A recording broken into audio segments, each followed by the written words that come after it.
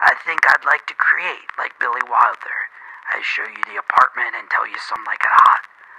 Or maybe, like Mr. Hitchcock, I'd make you scared of heights, ropes, birds, and binoculars.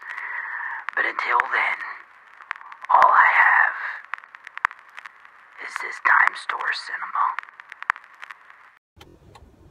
Hello, YouTube, Internet, world. Welcome back to another episode of Dime Store Cinema on the road. Let's talk movies. Today I'd like to discuss the the absolutely absurd comedy Shaolin Soccer. This movie is made by Stephen Chow, the director of Kung Fu Hustle. He also stars in this movie, and it makes me smile so very much. So when I first saw this movie, it actually wasn't my idea to see it.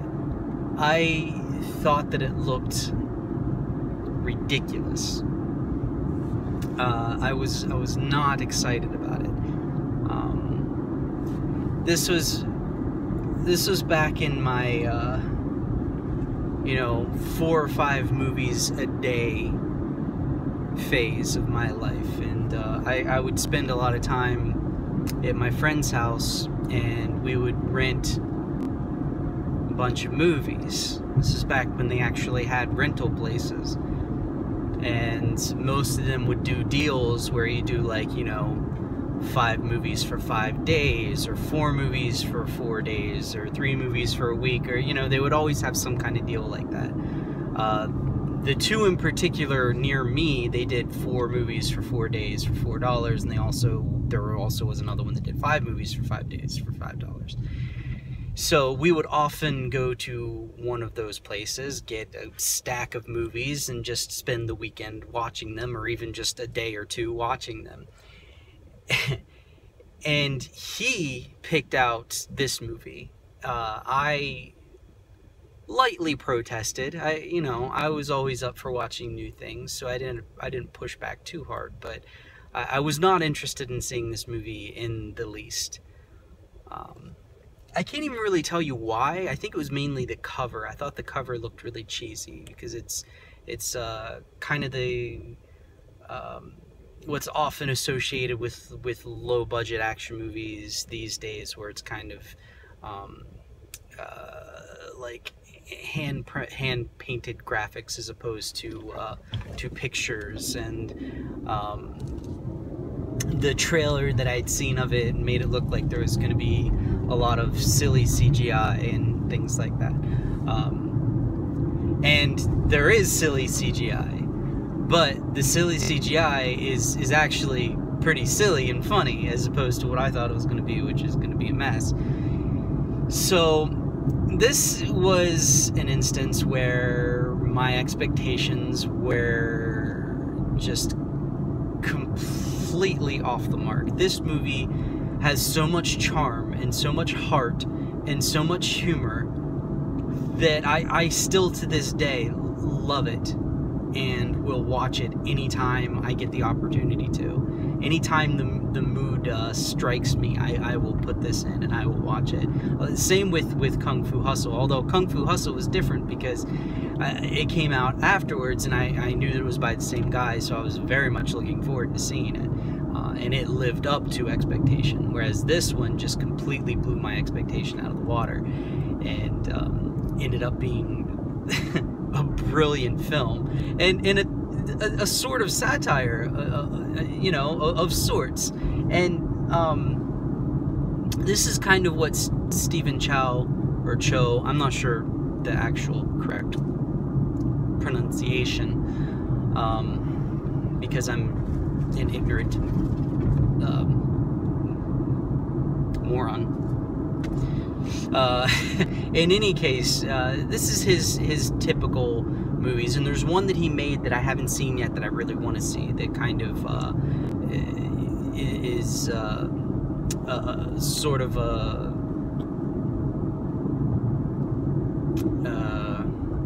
homage slash um, spoof of like Chinese gangster movies, and I haven't seen that that one yet, and I really want to. Uh, but Kung Fu Hustle is is the is kind of the, the subversion of the um, the classic martial arts story, the kung fu story of the one, the one coming into his own and defeating the evil. Uh, and it, it it follows all of the steps like that, and it's it's great. And this movie is is sort of like that, but but unlike that, it's much more like the classic uh, kung fu movies where it's um, dojos being re- represented. Because there were a lot of kung fu movies like that too, where things were based on um, on style and training. So it was the it was the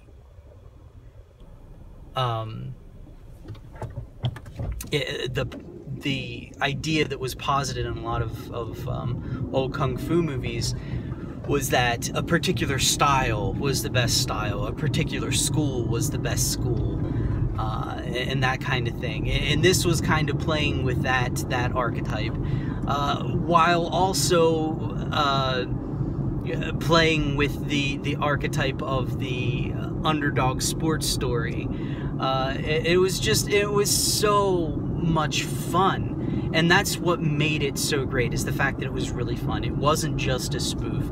It wasn't just an homage. It didn't just follow story beats. It, it, it, um, it brought a bunch of different things together. And everyone just looked like they were having a great time. Um, and there were there were small issues with it. I don't want to i don't want you to think that you know my enjoyment of the movie made me blind to some of the some of the problems. There were problems. The CGI was was was very uh, unbelievable. Uh, it did not pass at all. Um, then again, I mean it's an older movie. You know, we're talking like 16 year old movie. Um, but but even so, the, the CGI was not the best. And then you know there there were issues with with pacing. There were issues with editing. Um, there was some there were some things that were very um, stereotypical. Um, there were things that, uh, like I said, with pacing, where towards kind of like the end of the middle of the movie, it slowed down a lot and it drug a little bit. But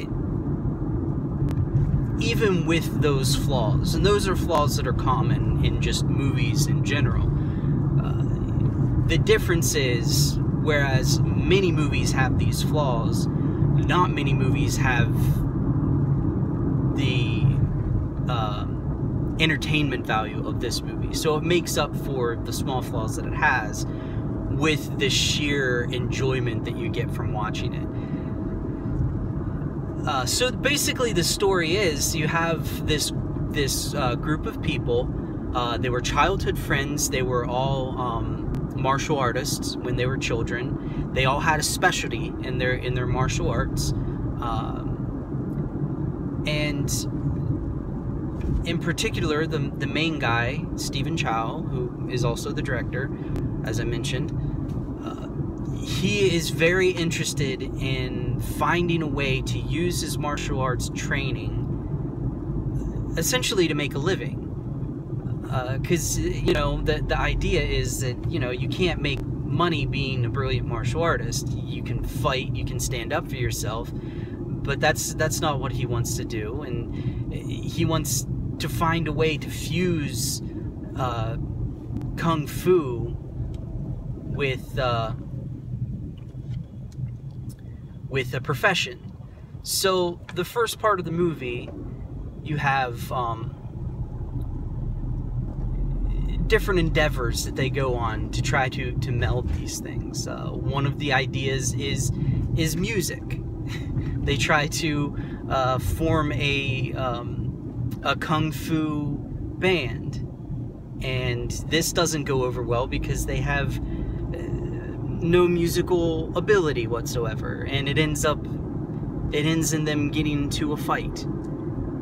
Uh, and I should say that at this point, there are only two of, of the friends who are still trying to pursue this.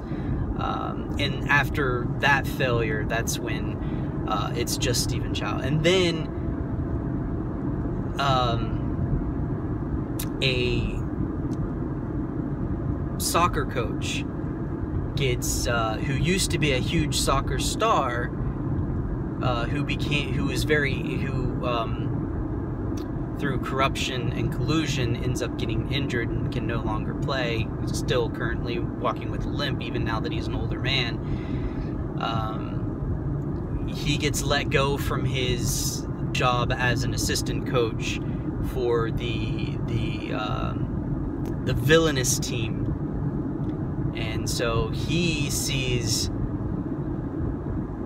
uh, Stephen Chow doing different things with his martial arts, and he comes up with the idea of using that for soccer. So then the movie is Stephen Chow uh, getting all of his childhood childhood friends back together, forming a soccer team, and um, then working on getting into the league to to go. So, and then, of course, as that goes on, they do form the soccer team, and then it it uh, it all ends with the culminating last.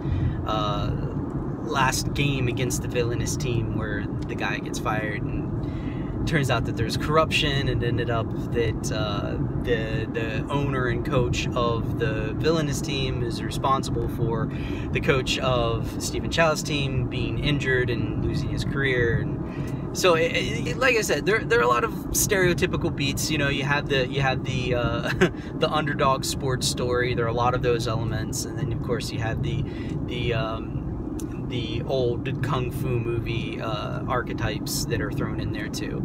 Uh, but what makes it, it fun in particular is Stephen Chow's character because he plays a very uh, naive, and I don't even want to say naive, but a very um, optimistic character. He he doesn't let the setbacks keep him down. He always is trying. He always, uh, you know, he always has a good head on his shoulders and tries to, to think positively and he's he's convinced that that his kung fu is the answer to everything and it it just it adds this fun and lighthearted element to it um, and then of course his friends are also uh, hilarious. They're they're cast against type which is great. Uh, so the idea is that um, you know there were former former martial artists who mastered each mastered a specific style um, but who have long since given up on their training. So now their their bodies are, are no longer uh, representing the the skill that they have had mastered. So you know it, it's a lot of it's a lot of that type of thing but you know, it, wasn't geared towards children like a lot of these movies were, but it, it wasn't, you know, offensive or uh, containing any kind of um, questionable content like a lot of movies aimed towards, you know, an older audience. It was just a movie that anyone can enjoy because it is genuinely funny and um, enjoyable. So I just, uh, you know, I don't want to sing, like I said, I don't want to sing the praises of it too much because it does have its its problems. You know, it's not without its problems. But I think anyone with a sense of humor, anyone who likes soccer, anyone who likes old kung fu movies, and anyone who likes uh, uh, sports underdog stories will like this movie. So that's that's a lot of different genres that you can you can pick from, and I think anyone who likes any one of those will enjoy this movie. And there's a little bit of a romance story in it too. So and it, and what I like about it is the romance story is is not it's not as annoying as a lot of romance stories are.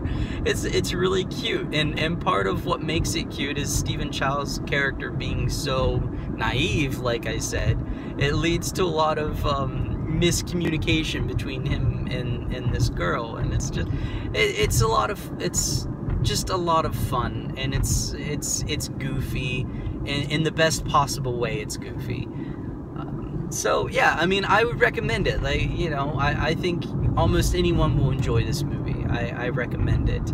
Uh, it's worth your time. It's worth your money. Um, so you know, if you get the chance, give it a watch. So thank you all for watching. Please like, please subscribe if you're into that kind of thing. And I will talk to you all later. Bye bye.